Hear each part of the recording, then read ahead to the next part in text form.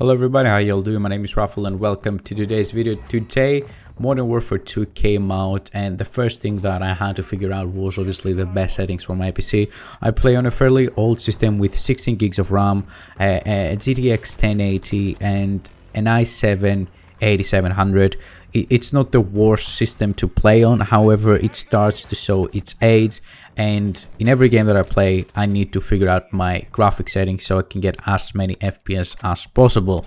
I'm happy to say that I'm able to play with an average of higher than 100 FPS, which means that my game is very smooth. I don't have any FPS drops. I don't have any weird, you know, sudden drops or, or anything like that. Uh, the game is actually running much, much better than I was expecting, and I'm really happy about it.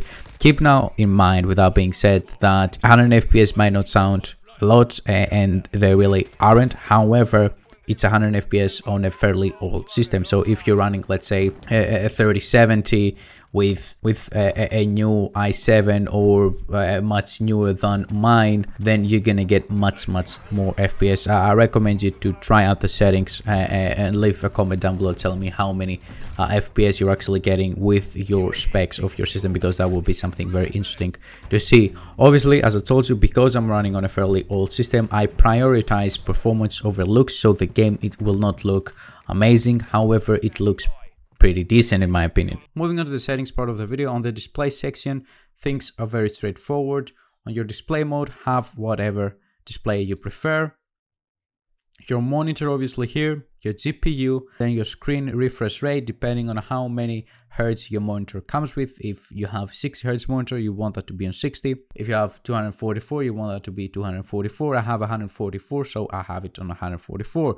Your display resolution, again, whatever your monitor can support unless you wanna play on a lower display resolution in order to gain extra FPS. That's always an option. However, because my monitor is only a 1080p, downgrading from 1080p to 720p is really, really not worth the extra FPS that we're gonna get.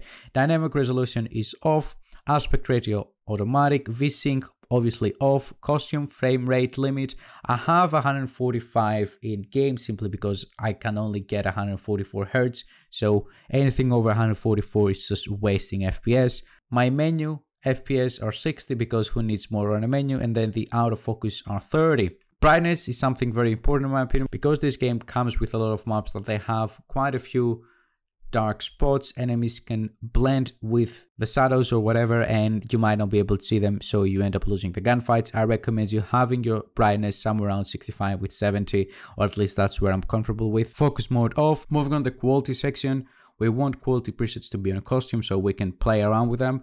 Upscaling sharpening, because I have an NVIDIA GPU, I'm going with NVIDIA image scaling. And now, if you have and NVIDIA, you have to decide what you value the most. For example, if you want to have as many FPS as possible, going with the performance option over here will grant you around 40 with 50 FPS. However, the game will look really, really bad because it's going to downscale the image.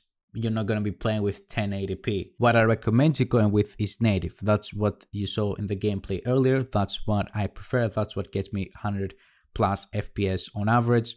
The game looks like a 1080p game, but at the same time, it gives you decent FPS.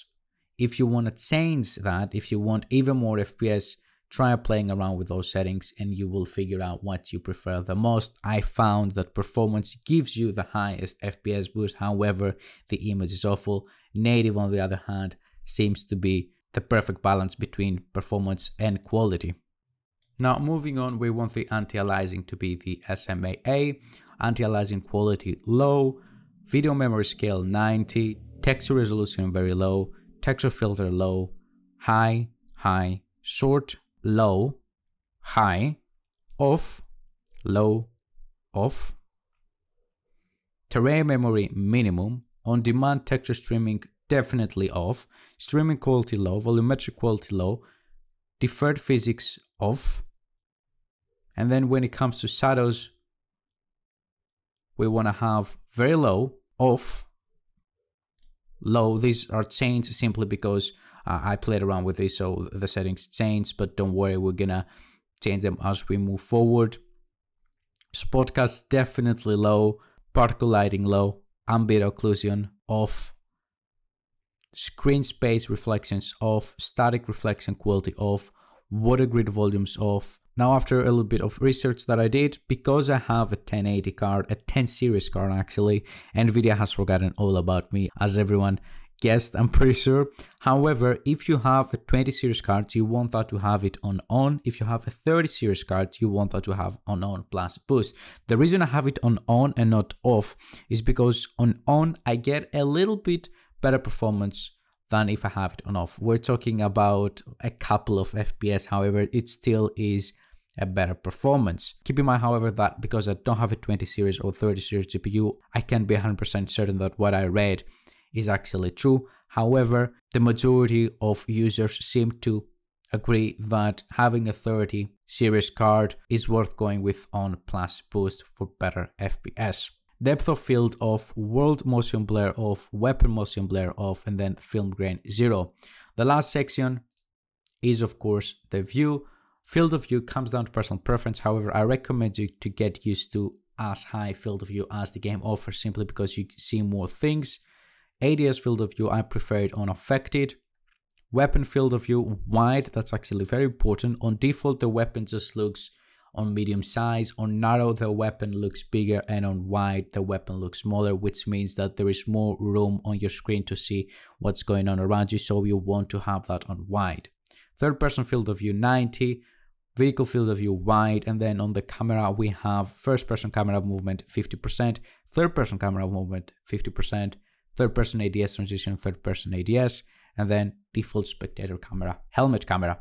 Those are my settings. Uh, as I told you, I play with very nice FPS. Uh, I play very stable without any FPS drops, and the game looks uh, not terrible. So yeah, as I said, if you have, which most of you will most likely have a better system than me, you will see much much more fps than mine. If you have uh, a 3070 you will see at least 200 fps so keep that in mind.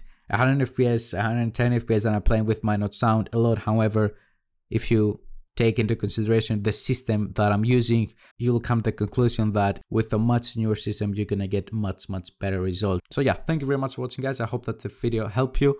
Have a wonderful day everybody. Bye bye